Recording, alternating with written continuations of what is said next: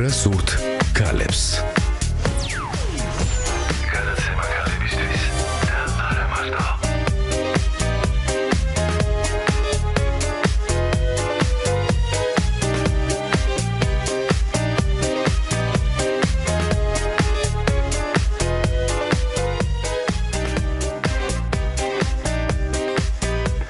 მოგესალმებით ყველას პირდაპირ ეთერში FM 104-სა და 4-ზე ეს არის საზოგადოებრივი რადიო 1-ის პირდაპირ ეთერი და როგორც ყოველ დღეს, როგორც ერთსა და იმავე დროს ხდება ხოლმე 11 საათსა და 11 წუთზე ვიწყებთ გადაცემას და წარმოგიდგენთ გადაცემას სახელით რა სურთ ქალებს. მოგესალმები, ქეთი ელieშვილი და მე დავით ველიჯანაშვილი ვარ თქვენთან ერთად. მოგესალმებით, დღევანდელი ჩვენი გადაცემის თემა არის ძალიან რომანტიკული და როგორც Facebook-ის კვლევა მაჩვენა საკმაოდ მივიწყებული. მივიწყებულიც აღმოჩნდა. და აღმოჩნდა ვერ გავიგე მივიწყებული. მოკლედ ჩვენი გადაცემის თემა არის პაემანი.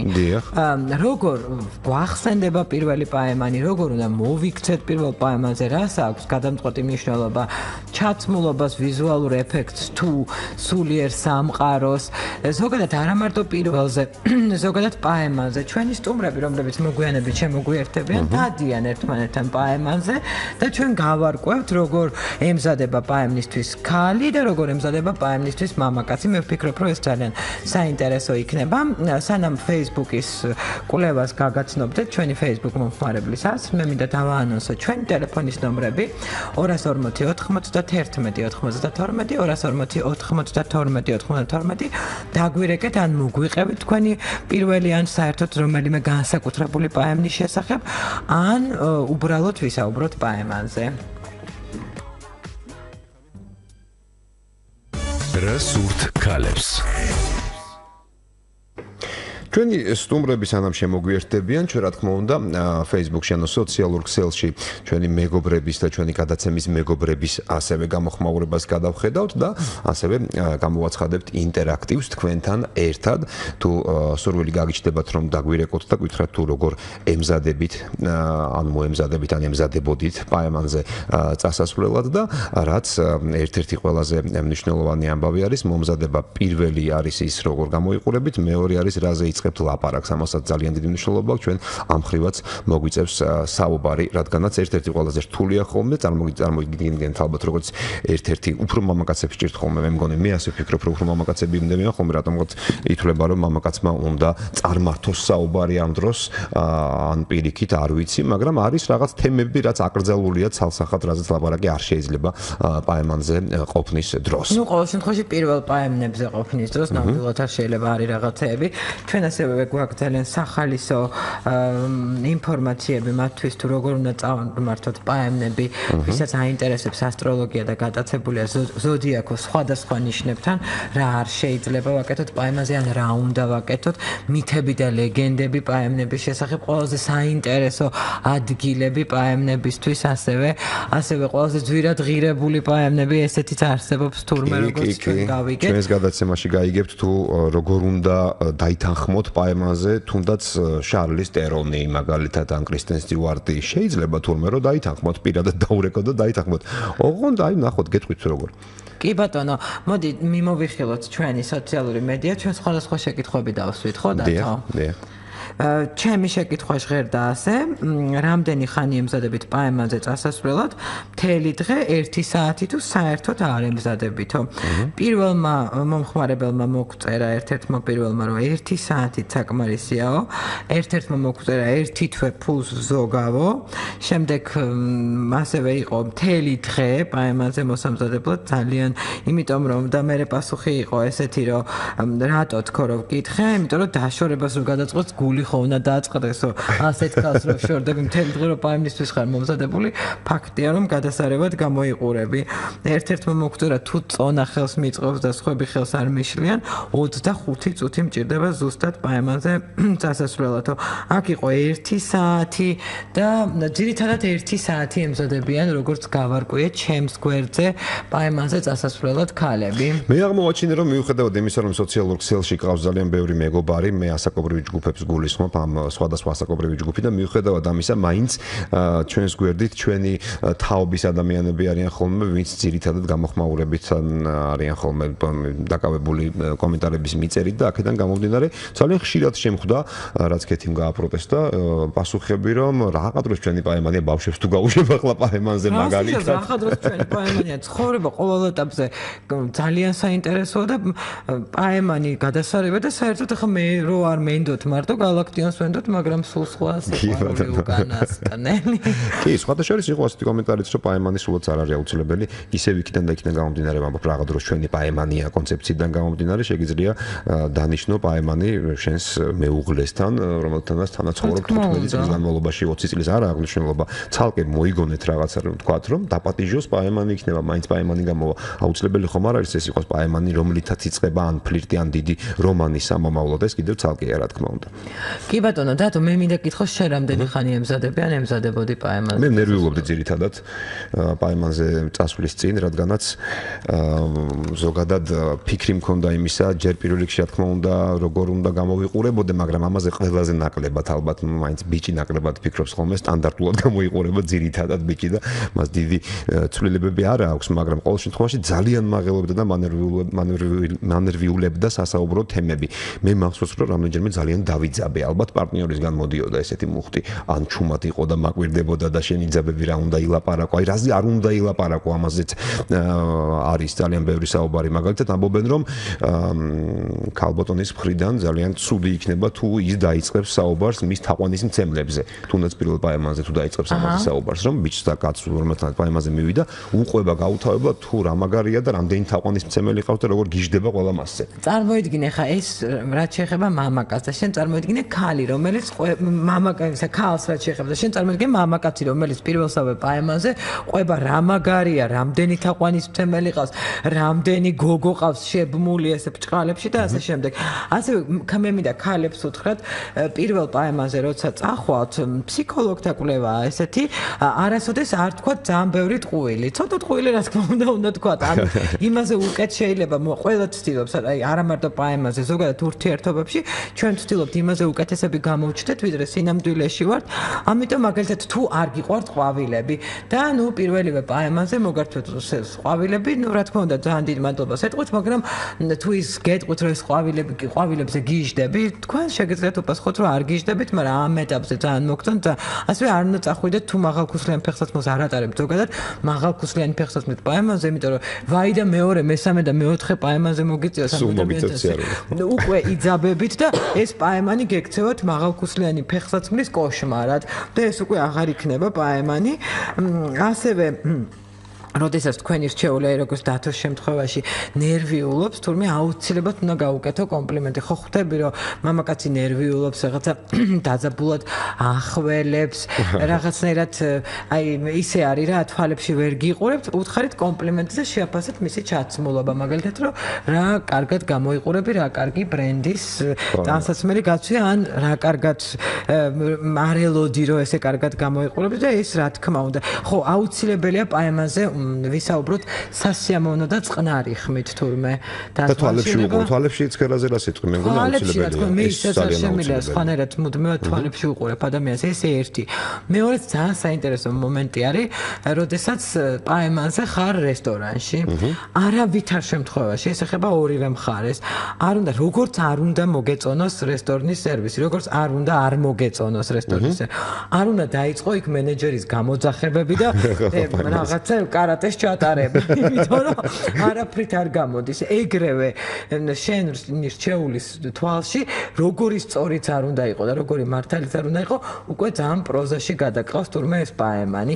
240 91 92 ჩვენ ძალიან მალე დავიწყებთ ჩვენ ინტერაქტივს და მე მგონი დავალოდოთ მსმენელის ზარსაც რას გვეტყვის. რა თქმა უნდა, ჩვენი ტელეფონის ნომერი 240 91 92 ან 240 92 92 კიდევ ერთხელ შეგახსენებთ რომ დაგვირეკოთ და გამომდინარე და მე ყველაზე მეტად დავინტერესდი ჩვენი სოციალური ქსელის გამოხმაურებიდან გამომდინარე მაინტერესებს მართლა ასე არის და მე და კეთი ვეღარ ხვდებით რომ რაღა დროს პაემანია და რა რომანტიკა აგიწყდა და მე ასეთები დამიწერეს ვინ დადის პაემანზე და რაღაცებს წერდნენ და ცოტა რაღაც მეწმინდა ხო ასე ჯგუფ-ჯგუფად დადიანო ეხლა ახალგაზრდებიო აღარ დადიანო ეს ცალკე პაემანი დაუნიშნეო რაღაც ზოგმა გამოთქვეს ეს რაღაც ველმოდურობაში გაატარა ეს ყველაფერი და მე რაღაცა ვერ წარმოვიდგინე რომ ასე იყოს შვიცაძე შემხვდი პაემანი არის საყვარელი ადამიანი რო გეუბნება რომ შვიცაძე შემხვდი პაემანი არ არის? კი თავისთავად უკვე პაემანია თუ გინდა ხა მე მეგობრებთან ერთად ხო ახლა მისმიერი ცალკე შეხვედრა და რა ვიცი პრინციპში სადმე გავიდეთ რამეზე ვილაპარაკოთ რამე მივირთვათ უკვე პაემანია ყველა ვარიანტი ხო? კი რა ვიცი და აკვით გინდა პაემანი გინდა დეითი გინდა რანდევუ რა ვიცი მე ყველაფერი ვიყოთ უფრო რომანტიკულები ჩვენო ძვირფასებო. და თუ ხართ რომანტიკულები და გახსოვთ ყველაზე გამორჩეული პაემანი თქვენი თქვენი თუნდაც ყველაზე უცნაური პაემანი ან თქვენი თუნდაც ყველაზე სასაცილო პაემანი აუცილებლად მოგყევით და დაგვირეკეთ ტელეფონის ნომრებს ნომრებზე 240 91 92 ან 240 92 92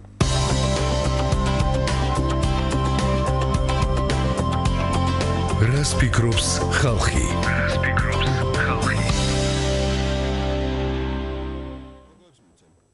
მე მოგიყვებით, მე დაკეთი მოგიყვებით უფრო სწორად რამდენიმე ადგილს, რაც მსოფლიოში ითვლება ძალიან ესეთ გამორჩეულად პაემნისთვის, სადაც ყველაზე მეტად ხვდებიან ადამიანები სხვადასხვა ქვეყნებში გულისხმობ ამ შემთხვევაში და თუ დავიწყებ, რა თქმა უნდა, იტალიის დედაქალაქით, რომით და ტრევის შადრევანით არავის გაუკვირდება ალბათ. თქვენ შეგიძლიათ პარალელურად ჩემი საუბრისა ამ ადგილმდებარეობის ფოტოებსაც ერთხელ კიდევ გადაავლოთ თვალი თუ რადიო 1 წერტილი G-ს მოიხმართ და იქ მოგვისმენთ და თან დაგვინახავთ ვიმეორებთ კიდეც. რა თქმა უნდა, ყველაზე პოპულარული ადგილი ყოფილა ტრევი შადრევანი პაემნისთვის მე-18 საუკუნეში აშენებული.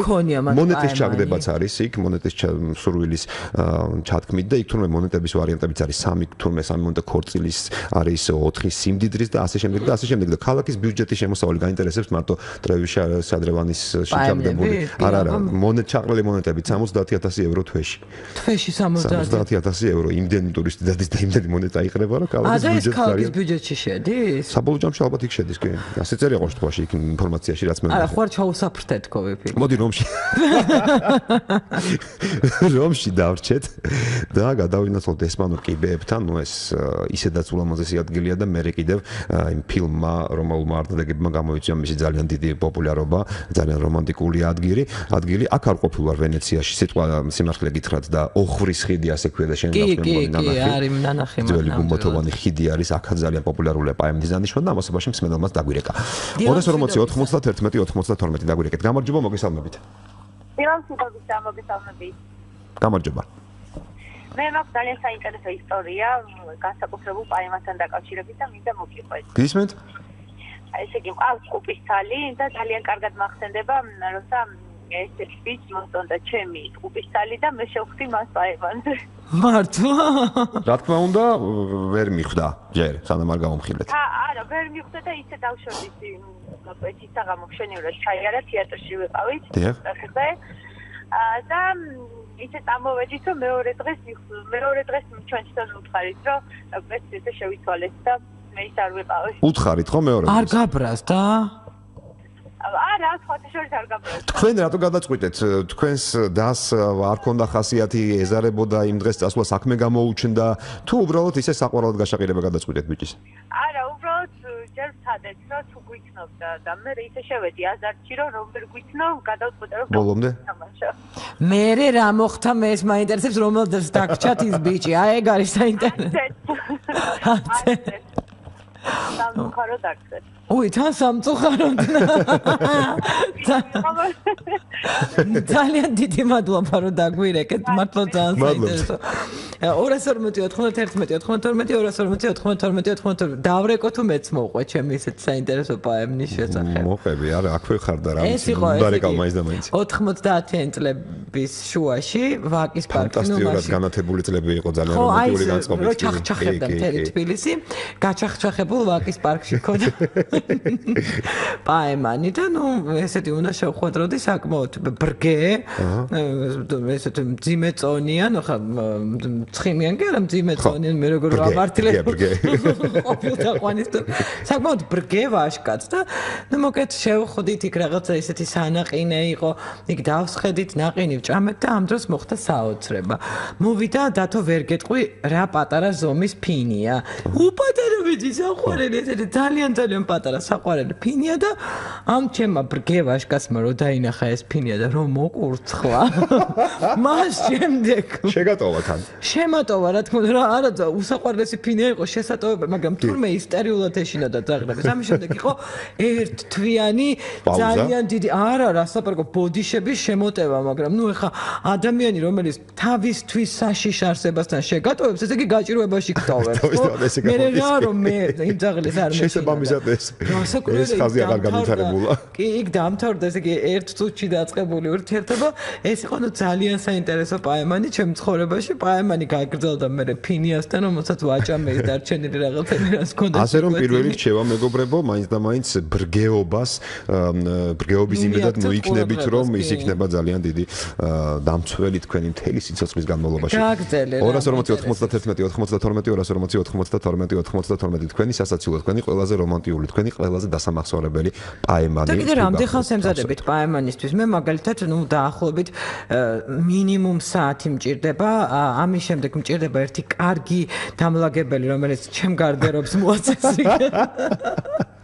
იმიტომ რომ ნუ ეს ყველაფერი ხდება ეს ყველა ცნობილი ფაქტია რომ პაიამანის შემდეგ გარდერობი არის მთლიანად გადმოყრილი და ეს არის ძალიან ქალური ამბავი. მე არ ვიცი მამაკაცის შემთხვევაში რა ხდება თუმცა ეხა ჩვენი წყვილი რო შემოვა იმათ ექსპერიმენტს ჩაუტარებ და მივხვდებით რა ხდება ქალის და მამაკაცის შემთხვევაში ჩვენ გველის ექსპერიმენტი წინასე რომ ყურადღებით. გავაგრძელოთ იტალია ლიდერობს ამ შემთხვევაში ამჯერად ვენეციაში ვიყავთ ფლორენციაში.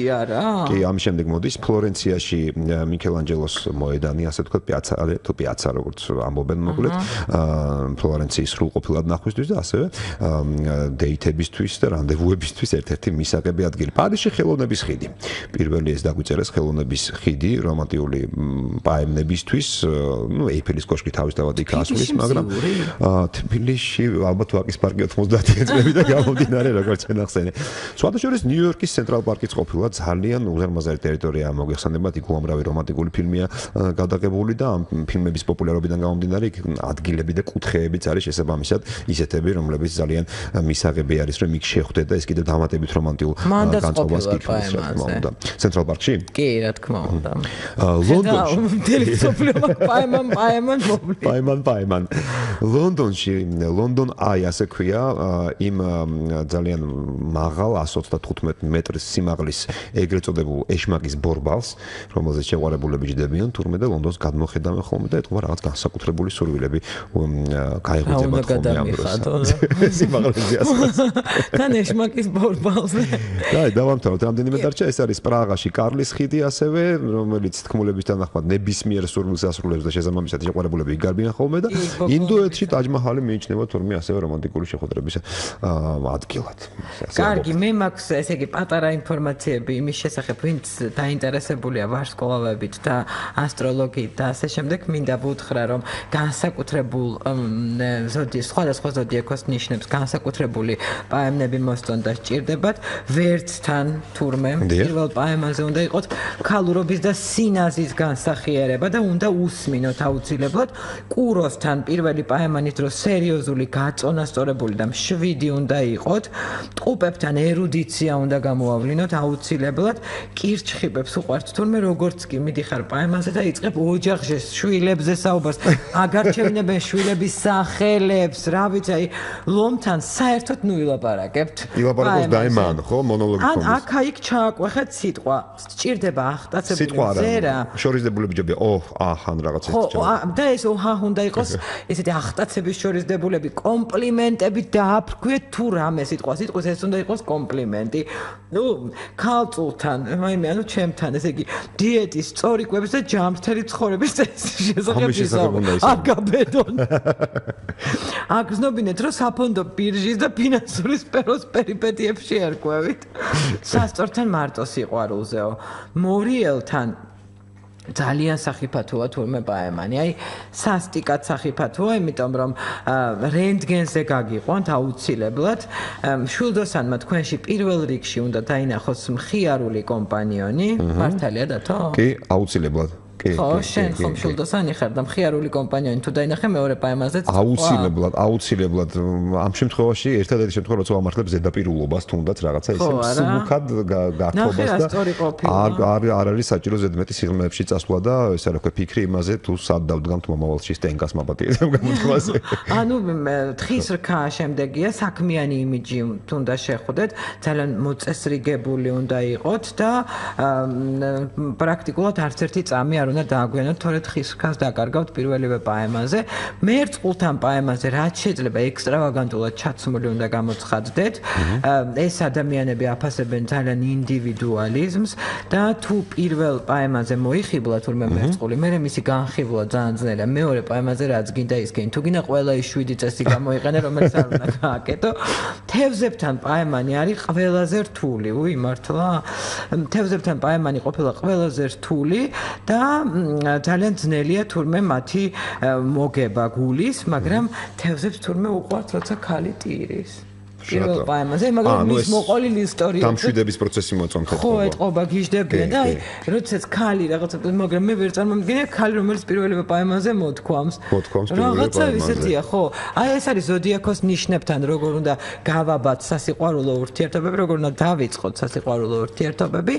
პირველი პაემანი სხვა შორის გადამწყვეტია ზოგ შემთხვევაში, შენ რა სიტყვი? კი, იმიტომ რომ უცბად დაძაბული ადამიანი უცბად ფთხება ამ დროს და შეიძლება რამ ანთან პირველ ფინალზე როცა ბევრს ბევრი გაგნა ფიქრი შეიძლება რადიკალურად სხვანაირად მოგეჩვენოს ილუზიურად ვიდრე არის რეალურად და შეიძლება მართლა ისეთი ადამიანია ვისთანაც ძალიან დიდი ხნის განმავლობაში შეიძლება ბედნიერი ურთიერთობა და შენ ეს ყველაფერი ვერ შეამჩნიო ვერ დაინახო და უბრალოდ პირველივე პაემნის შემდეგ აღარც დაისვა შეკითხვა როდის შეხვდეთ მეორედ.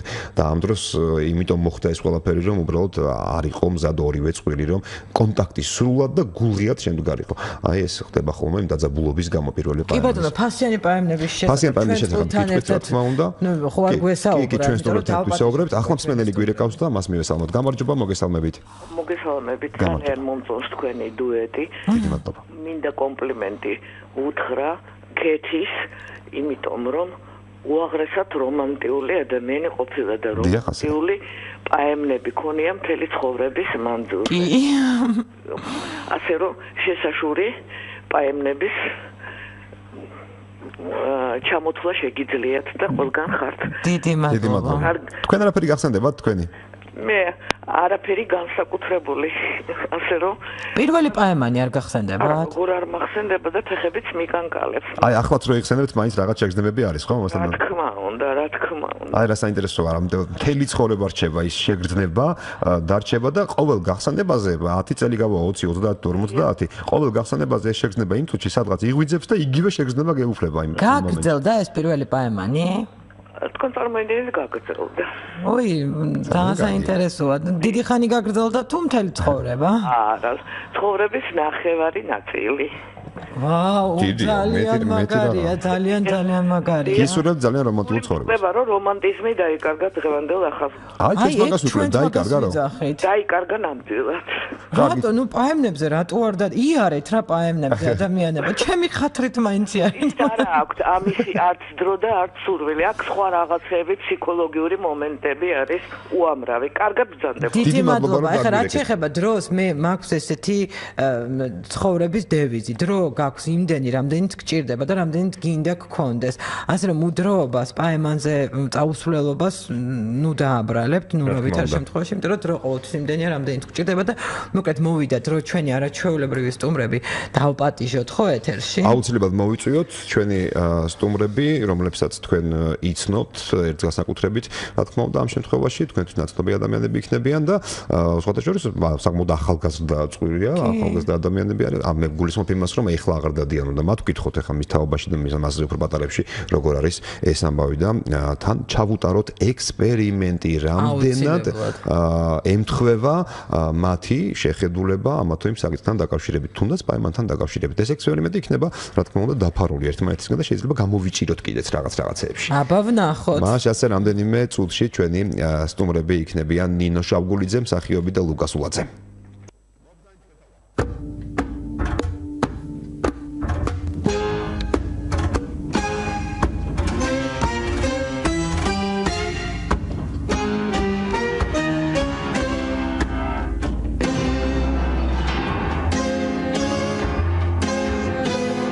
რასურთ კალებს და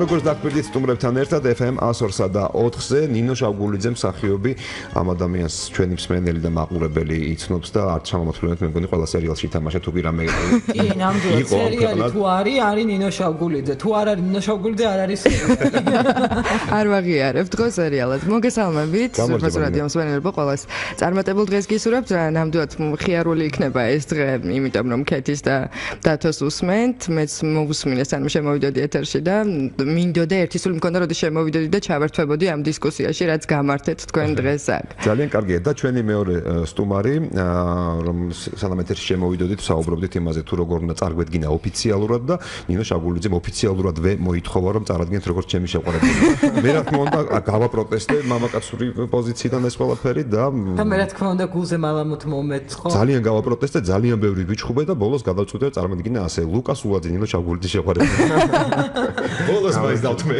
მოგესალმებით, ესე იგი ჩვენ მქონდა ლაპარაკი ზოგადად პაემანზე და სოციალურმა სოციალური ქსელით მსმენელებით ასე შემდეგ ასე შემდეგ დადგინდა მარტივი ჭეშმარიტება, რომ პაემანი გადაიქცა რაღაცა რარიტეტად, მილევად ინსტიტუციად, ასე ვთქვათ. რა სიტყვით არ გადამრიოთ ახლა თქვენც იგივე არ დამიშვა. არა, ჩვენ შემთხვევაში არა. პირიქით, მე მე ძალიან რომანტიკოსი ვარ, მიყვარს პაემანი, მიყვარს სიურპრიზები, მიყვარს საჩუქრები, აქედან გამომდინარე მე თვითონაც ვცდილობ, რომ სტიმული მივცე ლუკას, რომ წამოვიყოლ რაღაცებს. შეიძლება ჩემგან რო არ მოდიოდეს ეს მუხტი, შეიძლება და ლუკასგანაც არ წამოსულიყო ანალოგიური. ამიტომ ქალებმაც ისევე უნდა იაქტიურონ ამ შემთხვევაში თუ უნდათ რომანტიზმი, ისევ როგორც კაცებმა. და ჩვენ შემთხვევაში პაემანი, რასაც ქვია, აი ეს რომ უნდა მოემზადო და უნდა წახვიდე სადმე საღამო, უნდა მოაწყო და ისე რომ არ შეეხოთ ერთმანეთს უკვე გქონდა კაი გაქანებული შეყვარებულები რო ვიყავით, მაშინ რაღაცა ვიკონფლიქტეთ რაღაცაზე, რამოდენიმე დღე არ ვლაპარაკობთ და მე რა გადავწყვეტეთ, რომ ყველაფერი დაგვეწყო თავიდან და ეგ იყო პერიოდი, როდესაც უკვე მე ვაქტიურობდი. აჰა. ეგ რაღაც ვერ გავიგე. ანუ პაემნამდე, სანამ პირველი პაემანი გქონდათ, როგორც ასეთი, უკვე გაქანებული შეყვარებულები იყავით? კი, უკვე გაქანებული. ხო გაქანდით უკვე. აი გეტყვი. საკადელაზე დავჭექი და გაქანებული. აა ესე შეფო არ გამიგა ხა უცნაური და გაკანდნენ უპაენ უპაენ გუშის ხათაშორის რო გესაუბრეთ და რო შევთანხმდით აქ მოსლაზე შეხვედრაზე ლუკას უბნები რო ვთქვათ თქო ერთმანეთს შევთანხმდებოდით რას ვიტყოდით როგორ მოხდა ჩვენი კავშირი. ყველაფერი უნდა თქვა. ხო და მე ვუთხარი ლუკას რომ გულახდილად როცა ლაპარაკობ თქო ყველაფერი идеალურად გამოდის თქო. არაფერი არის სამართლო პირიქით ძალიან მიყვარს ეს ისტორია თქო. მოკლედ. მოკლედ ისმენთ. იყო ერთ-ერთი ღამის კლუბის საღამო 4GB 8 მაის დიღმის პავილიონში. ცეკვავდი ცეკვავდა არ ვიცნობდი არ მიცნობდა.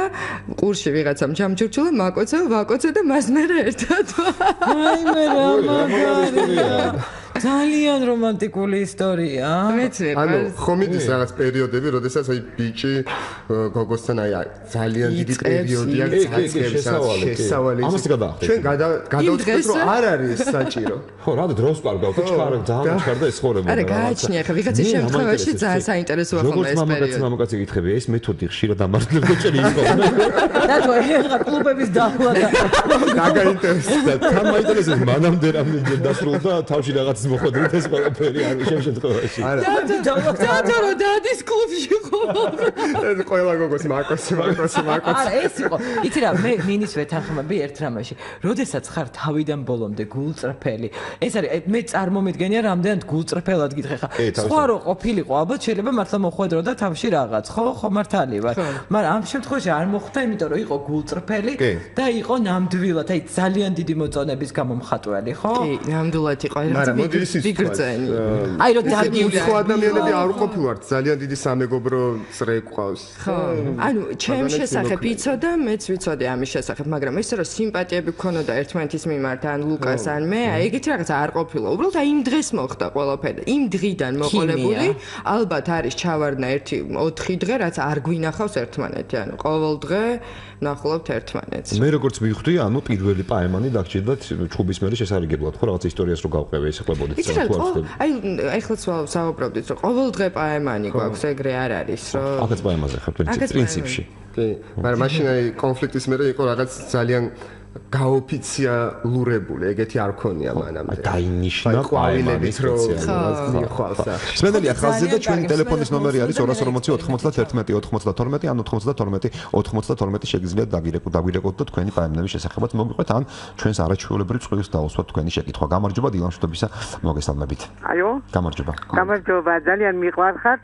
სულიერი ტაძრის რადიოს ყველა წარმომადგენელი. ეხლა პაემანზე რაც შეეხება, ძალიან მიმის და იმიტომ რაღაც მე მეგობრ ფიგურებში ჩვენი განსხვავებული პაემანი ქონდა მე და ჯემალ მელკაძეს. ეს პირველი პაემანი თქვენ წარმოიდგინე 40 წუთი დააგვიანა თვითონ მერწმულია მე არ შეყ ვერ ზოდიაქოს ვერ მოусმინე მე თვითონ ყურო ვარ. 40 წუთი დააგვიანა და ამას რა ვქნა მოწმინების შევხვდი იმიტომ ველოდებოდი ადამიანს რომელიც მიყვარდა. ამიტომ მთელი ცხოვრება ჩვენ მეგობრებთან სულ დავდიოდი და არჩეულ ღონისძიებებზე და აუცილებლად პაემანი უნდა შევხედოდი მე სამსახურში ვიყავი სადღაც იყო აქ ბავშვები რაღაცა და ყველა პაემანზე წარმოიდგინეთ ჩემო ძირფასებო რომ მთელი ცხოვრება აი ეხლა სანამ გარდაიცვლებოდა ჯემალი 1 საათს 40 წუთს მიგვიანებდა. ვაი მაგრამ ეს იყო საოცრება. მე ჩვენთან ცხოვრობდა გაუთხოვარი ხონელი მამი და გოგუცა. რო დარეკავდნენ ტელეფონით მეგობრები მოგვიკითხავდნენ, დედა შვილო მაგენი დადიენ, დია დადიენ. რაღაცა მაგას სახლი არ უყვარდო. და ისეთი საოცარი იყო მაინც მე ის არაჩვეულებრივი ღონისძიებების მოლოდინში და არაჩვეულებრივ მეგობრებთან შეხვედრით, ვიცმენდი ჩემო კარგებო გებო ამას და მე ახლა არ ვიცი კუროზე რა რა წაიკი თქვენ რა გადმოეცით და ვერ მოусმინე და მითხარი თქვენ კურო ხართ მე კუროა და შედის მოთმინების მოთმინების ფიალის ზომა გვაინტერესებს იცით რა კი გაწონასწორებული და მშვიდია კურო სხვათა შორის მიყვარხართ ძალიან ჩვენ ძალიან მიყვარხართ დიდი მადლობა რომ დაგვირეკეთ დიდი მადლობა ესე იგი ეხლა ჩემი საყვარელი რუბრიკის გადაცემის რუბრიკის დრო დადგა აიღეთ თქვენ თითო თითო ფურცელი აიღე თითო-თითო პასტა, ეხლა წავა ის ტიხარი, რომელიც ასევე ძალიან მიყვარს და ჩვენ რამდენიმე წამში დავბრუნდებით ეთერში.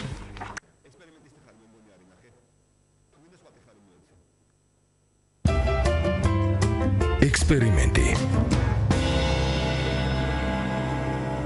მოვამზადოთ ექსპერიმენტისთვის ჩვენი სტუმრები და თქვენც მოემზადეთ იმისათვის რომ შევამზადოთ ხო? ესე იგი თქვენ ხო თქვით რომ ერთხელ ქონდათ სერიოზული ესეთი პაემანი.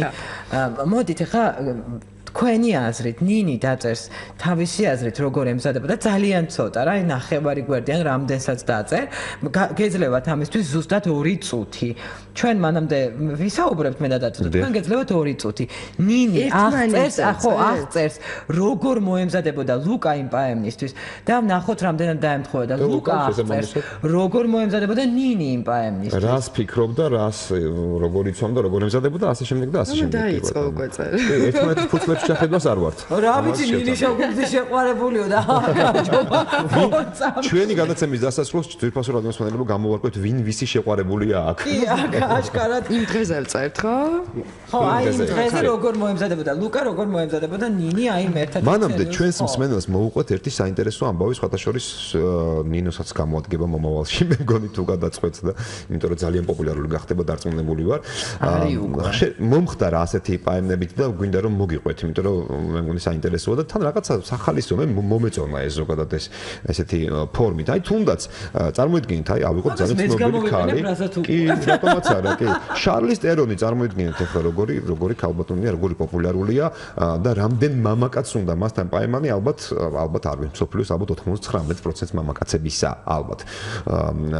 აი შარლის ტერონთან მაგალითად საშუალება იყო რამდენჯერმე რომ პაემანზე წასულიყო ნებისმიერი ადამიანი დაკავშირებოდა და მას შეხვედროდა შარლის ტერონი შეხვდებოდა და წავიდოდა პაემანზე. უბრალოდ მას თქვათ აი ერთი პაემანი რომელიც შედგა იმ შემთხვევაში კალათბურთის მატჩზე დასასწრები ორი ბილეთი უნდა იყიდეს თავისთავად ცხადე მამაკაცმა ხომ უნდა იყიდეს ორი ბილეთი რომ ქალი დაპატიჟოს ხო?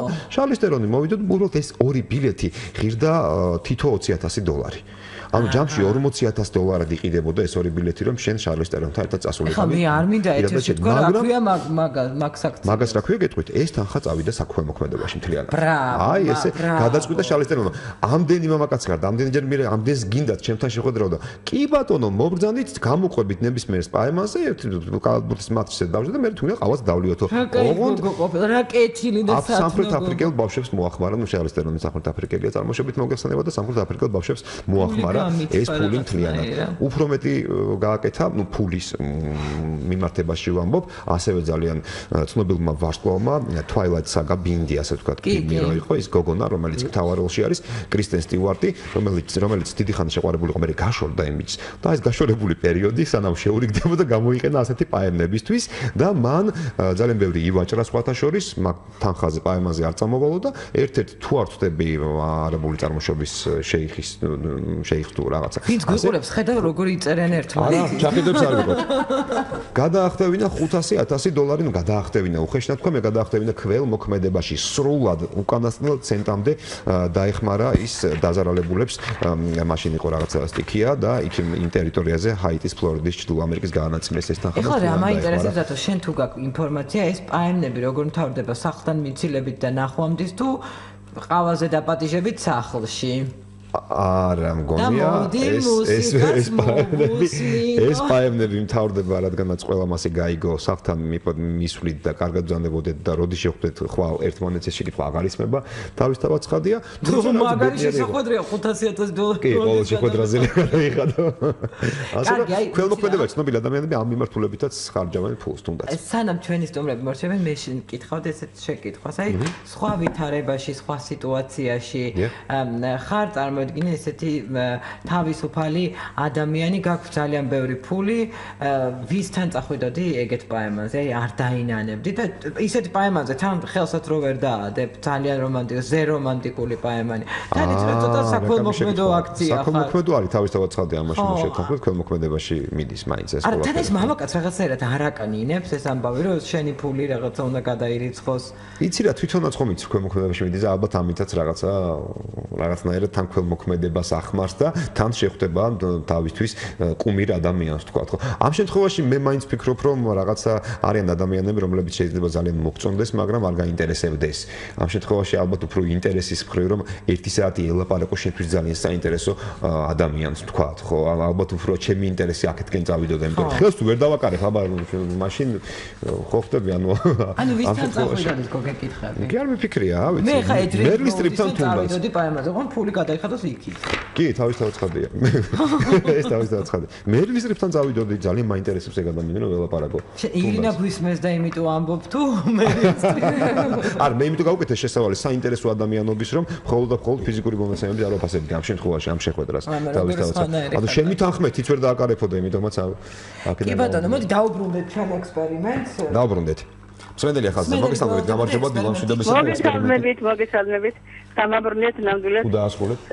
65 წელი თუ გაქვს ესე იგი რომ პირველად შეუნთავაზა მომწონდი ჩუმად მეყვარდა შორიდან მაგრამ შეხვედრა ვერ წარმოედგინა და ყველა გამჭიახი თვალი, ოდნავ გამოსილი თვალი მიხვდებოდა რომ აფორიასებული სახედაულაგებელი ფუცფუცო ვიდა მოემზადო ძალიან კარგად უნდა იყო და ამ დროს სულ სახეზე გაწერია რომ სად რაზე მიდიხარ? ესე იგი არა მშვიდ მდგომარეობაში მიდიხარ პაემანზე მაგრამ დაბრუნდი უკან ვერ გავბედე გული კი რა მომივარდა და ამ ხანაგ ვისგანაც გავიცანი ეს პიროვნება ის წავეყვანე.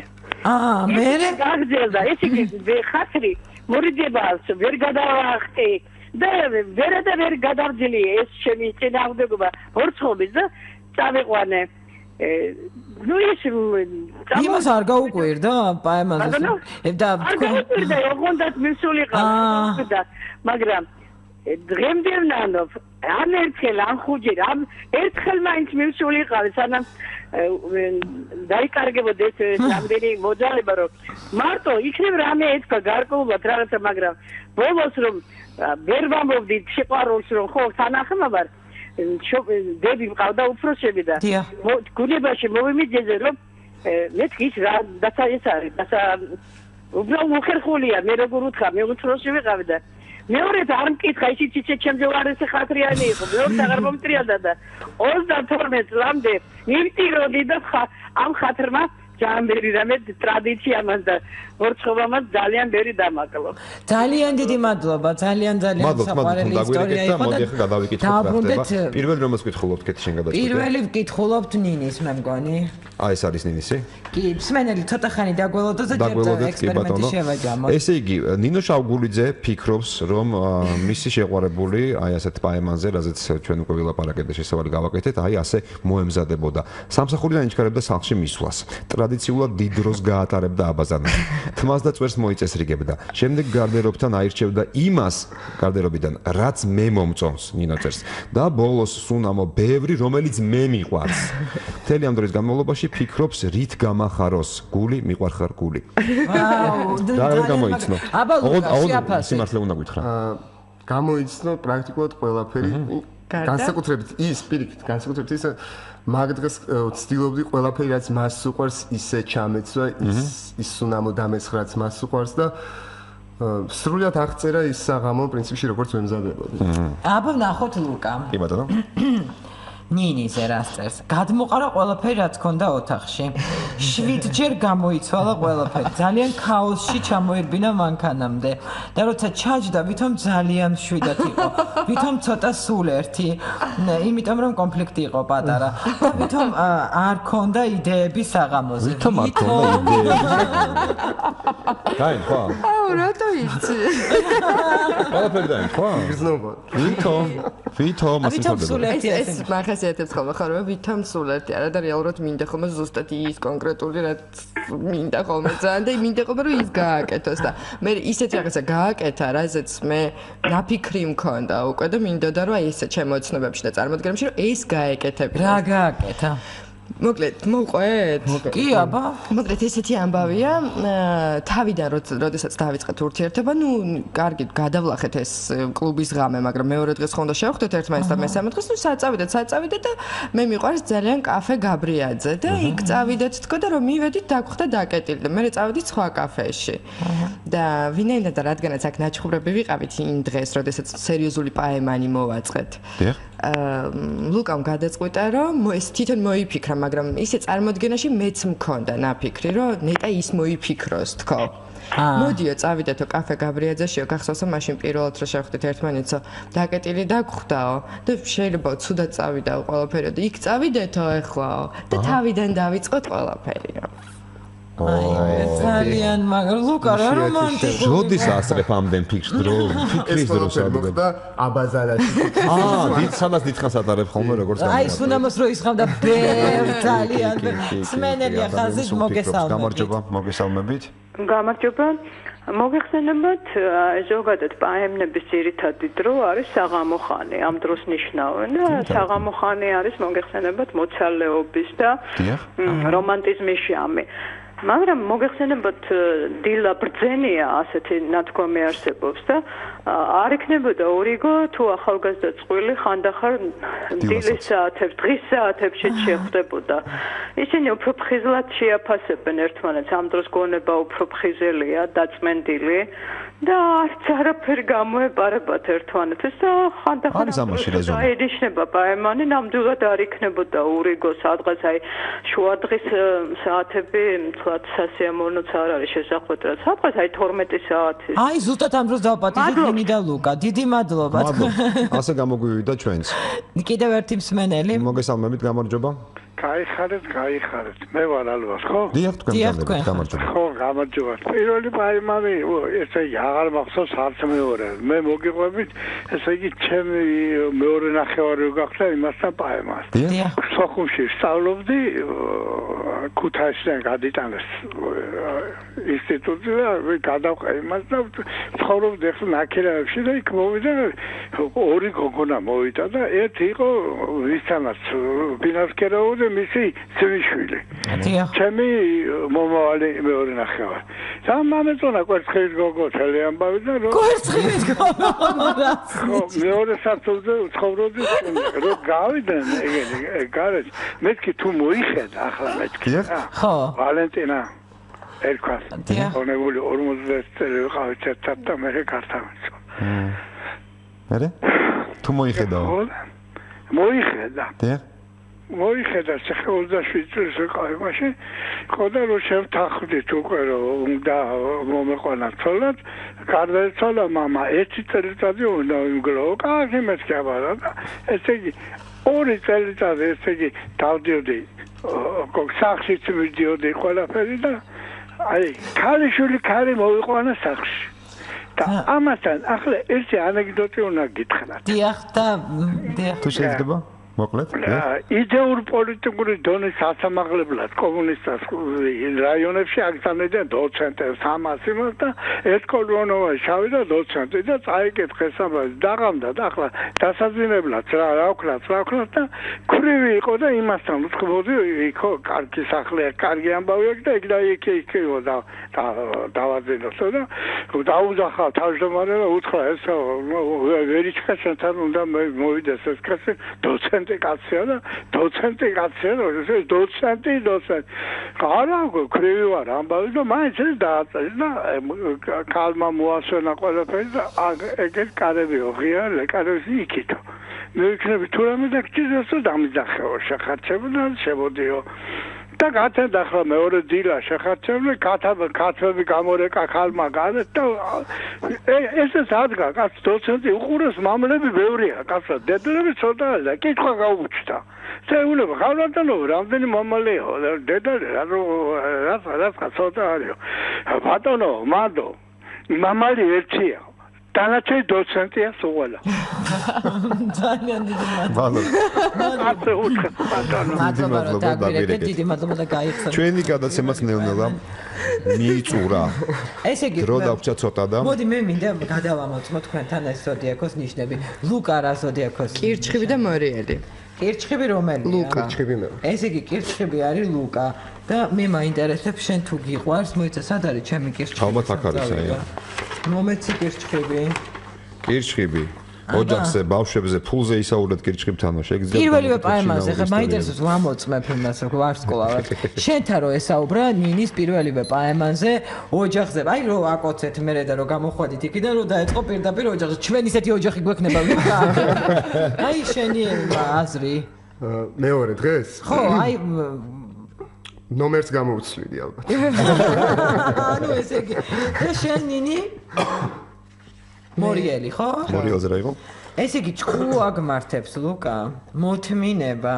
წინ დახედულობა და საერთოდ ვერაფერს ვერ გამოაპარებ. რენტგენზე ყავხარ გაყვანილი რო იცოდე. რამდენად მართალია მართალია აი ეს პროცენტით. არა მხოლოდ ლუკა საერთოდ ყველა ადამიანის ესე ჩაბოუსმევ ხოლმე. კაი, და თქვენ ახან იმართუნ ინარჩუნებთ რომანტიზმს, ამდენი ხანია ერთად ხართ. მოდი თითო წინადადებით გითხარით იმ ადამიანებს, ვინც არიან ფრუსტრირებულები, აი ჩვენ სოციალურ ქსელში თუ ასე შემდეგ და ფიქრობენ რომ რომანტიკული აღარ არის პაემნები, ერთი წინადადება მაინც უთხარით აი საფინალოდ.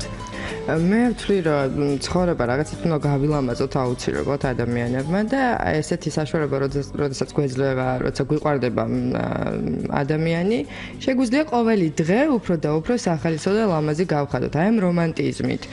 ვუკეთოთ ერთმანეთს სიურპრიზები, გავახაროთ ერთმანეთი, დავგეგმოთ პაემანი, გამოვიპრანჭოთ, მოვემზადოთ და უფრო საინტერესო ხდება შემდეგ უფრო უკვე ურთიერთობა იმ ადამიანთან. ი, რაც არ უნდა დიდი დრო იყოს გასული ურთიერთობაში, რაც არ უნდა ოჯახი და ხუთი შვილი გაუჩნდეს. აი, ეს არის თავარი, ხო? აუცილებლად ის ფერადი და ლამაზი გარემო უნდა იყოს მათ გარშემო. შესაბამისად, თვეში ერთხელ მაინც მოაცხონ ისე რომ სადმე წავიდნენ, მოშორდნენ ყოველდღიურ ცხოვრებას და გაიხსენონ ის პირველი პერიოდი, როდესაც დაიწყეს ურთიერთობა. ხო, ეს აუცილებელია, რომ წლების შემდეგაც გაგრძელდეს, რომც არ გქონდეს სურვილი თავს უნდა დააძალო, მე ვფიქრობ, რომ ესეთი რაღაცა გააკეთო, მე მოგეწონება. ესე მგონია და აზარჩი შეხვალ მე. ძალიან დიდი მადლობა მოგწონს. ეხლა მე წავადგენ ჩვენ სტუმრებს. ჩვენი სტუმრები იყვნენ ლუკას ულაძე და მისი შეყვარებული მინა შავგოლიძე. დია, დიდი მადლობა ყველას ყურადღებისათვის. კიდევ ერთხელ დიდი მადლობა მობრძანებისთვის და ყველას გისურვებ ძალიან ლამაზ და რომანტიკულ ცხოვრებას პაემნებით დატვირთულ თუნდაც. და ხვალინდელი თემა მინდა დავაანონსო, რამდენად ცვლის ქალს მაკიაჟი და ვარცხნილობა ჩვენ გვეყოლებიან სპეციალისტები ეთერში და ნახოთ რამდენად შევიწრები თუნდაც მე სხვა მაკიაჟის და ვარცხნილობის შემდეგ. დროებით გემშვიდობებით წარმატებული და ბედნიერი და ხვალამდე. რასოთ? რასოთ? ქალებს. ქალებს.